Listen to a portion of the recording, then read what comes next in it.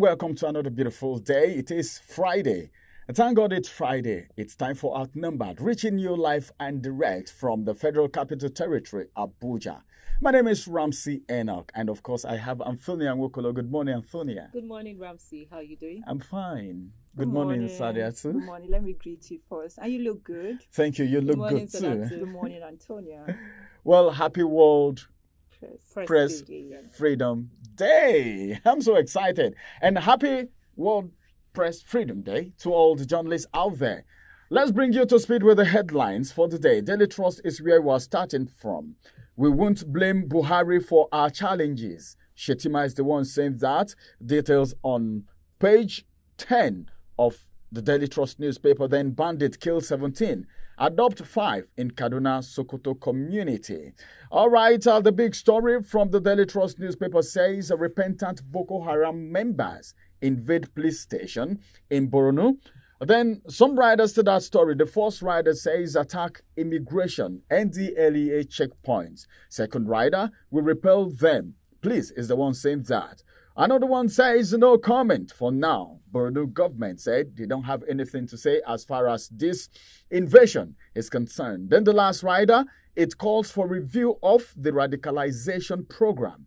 Experts are the one adding their voice to this incident. As a matter of fact, details on page 4 of the Daily Trust newspaper. And finally, from the Daily Trust newspaper this morning, Press Freedom Day. That's the kicker.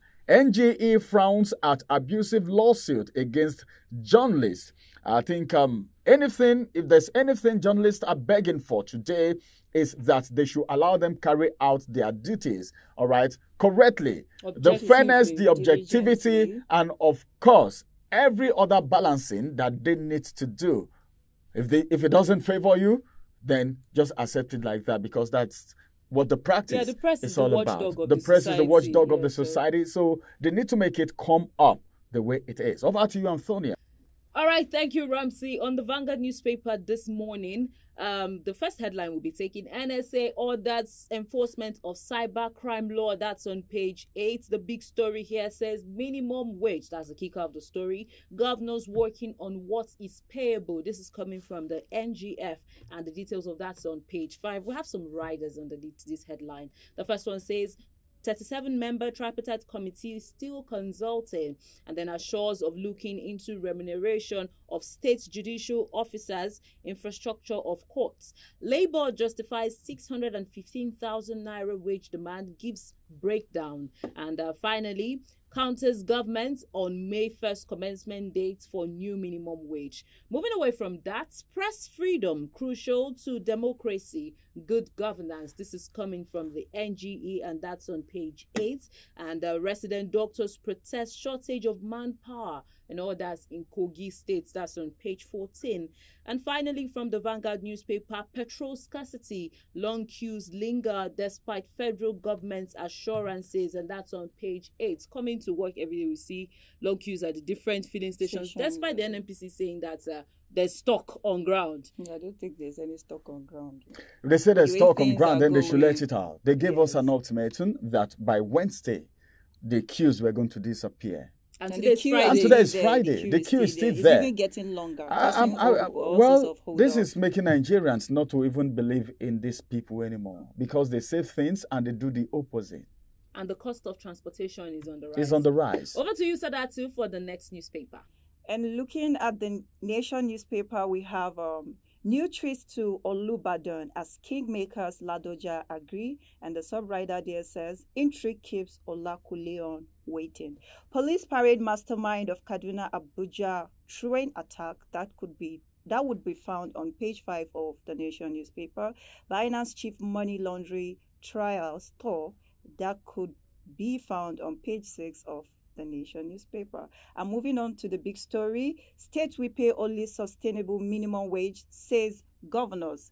Do you think this is going to sit well with the Labour? Well, I, I think um, Labour may still want to press. Like someone said on the review yesterday, my guest said, well, maybe they are trying to get a, a threshold. Anyhow, it may not be 615,000 per se, but then How I'm thinking I'm thinking states will pay based on the level of revenue they generate. You understand? Mm-hmm. So, uh, like some states may be paying more depending on the governor and how the government wants it. But then I'm not sure if. But I like the fact if, that the governors are actually coming out yes, to say this. Yes. Because so it's but not it's a not situation, just saying. Oh, yeah, it's not just saying. Yes. It's by doing it's it. by doing and it's also it's not a situation where the NLC says something. So this is to this is showing that they actually heard what yes. the NLC and saying. It, it appears they, they have it in mind. Yes, they have it in mind. All right, so let's move on to, to the sub rider. Subnational to adopt justice Justice Sector Summit resolution, and that would be found on the front page of the Nation newspaper. And moving on, we have petrol scarcity persists in city. That will be found on the page four of the Nation newspaper, and that what that's all we have on the Nation newspaper. All right, let's take a look at the Punch newspaper for this morning. The first headline above the header says "As 615,000 naira pay Governors demand sustainable minimum wage. Federal government warns saboteurs as generation rises to 4,800 megawatts. Details read on page 22. Then the big story from the Punch newspaper this morning says fuel supply. That's the kicker.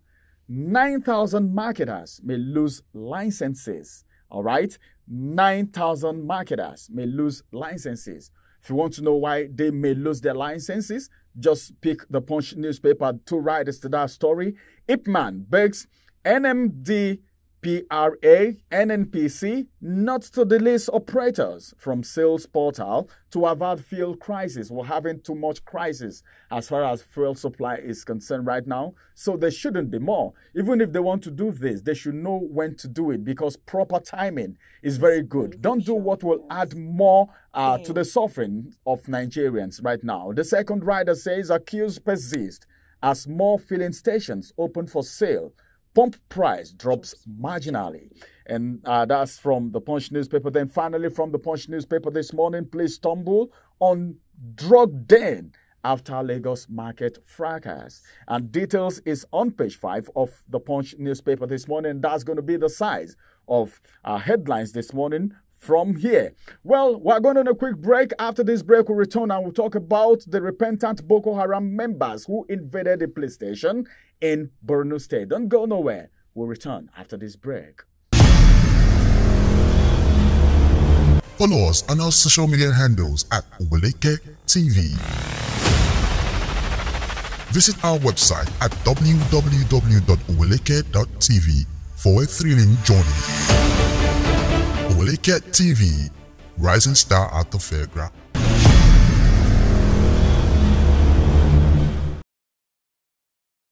Welcome back from that break. It is still outnumbered live on your screen right here from the capital city of Nigeria, Abuja. Oweleke TV, and of course, uh, as it is right now, we said we'll return from this break and talk to you about the repentant Boko Haram members who invaded a police station in Borno State. Some questions on my mind right now. First of all, who ascertained their repentance? And secondly, and secondly, the devil repent? you're the one asking the second question. yes, I'm asking. My second question repent? is why would the state government said they have no comment for now? That means there's something fishy. All right, because if anything happens in the states, we feel the the the, the police say they repel the, the the invasion and now the state government is saying they don't have any comment for now. When are they going to have comment? I think the first thing they would have done is that, well, there was an attack or there was no attack, and this is who is behind the attack and who is not behind the attack. Everyone should go about their normal businesses because right now people will be scared because you said these people are repented and they are carrying out this act again after telling Nigerians that they are repented and they might have integrated into the society after the repentance, meaning they may have even recruited more Boko Haram members at the period that they got integrated into the society. So, Antonia, as it is right now, looking at the whole scenario, what's in your mind? What do you think? I have a lot of questions like you do, uh, looking at everything happening because like you mentioned, who ascertained their repentance, and now seeing they invaded the police station. That story also carried that they they, they escaped with about twenty uh, Boko Haram members that were also detained in that police station. So this poses a that great means threat. They came on a rescue mission. yes.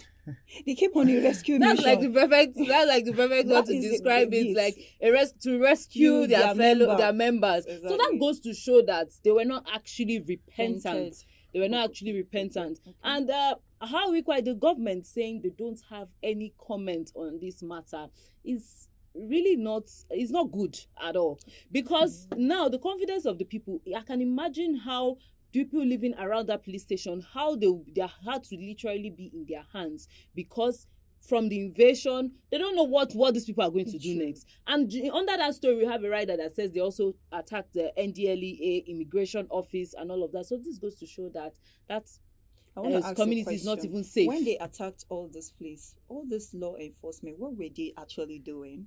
Okay, you've Does not that heard. Mean they are not, you've they are not, not properly equipped. Yes, I need to let, know. Let me ask you a question. Okay. It means you didn't hear that terrorists sacked, sacked in the military. Military.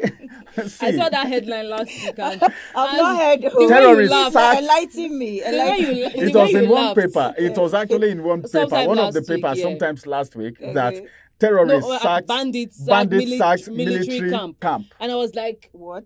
How, bandits how did it happen? sacked military camp. Is it that they are not properly equipped or what? That's the same question so Nigerians to are light asking. a lot of things. Uh, our security uh, organizations, them being properly equipped, and also rehabilitation for those uh, persons that they claim to be repentant Boko because we cannot truly tell Just if they are like actually I said, repentant. the devil cannot repent. They need to know that this said Boko Haram, before they became Boko Haram members, they were re-educated by, let's say, they are sponsors. We, we, we were told that um, one man um, freedom fighter is another man terrorist. In this um, um, in this state, we can say these people are not our freedom fighters, but they are our terrorists. They are terrorizing us. They are making life miserable for some people. And if such people come out to tell you that, oh, I have repented from being a Boko Haram, you need to know that you have to re educate them. You have to re educate them back because they've been edu- re educated by their sponsor. Okay, you have to do this to get money. You need to do this for this. This is what you have to do. So they are used to it. You just can't accept people that they said that I have repented.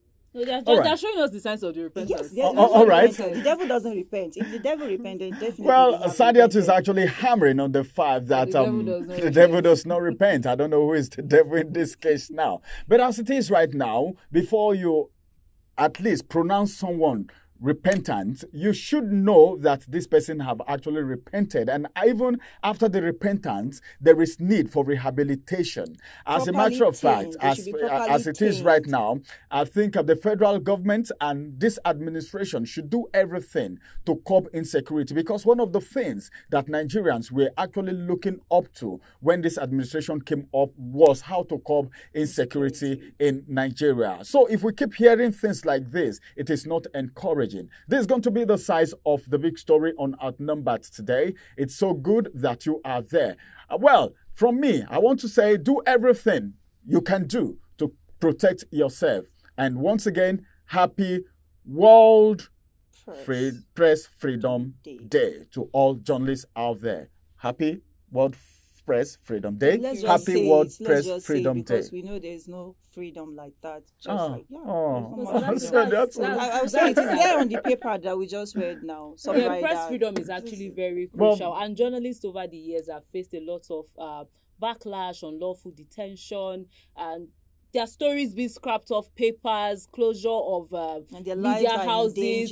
Yes, some have no been killed. Some have been killed. And All right, I think because of our lot. time, let's just call it a wrap here because of our time. We'll be with you again, same time, same station, next week.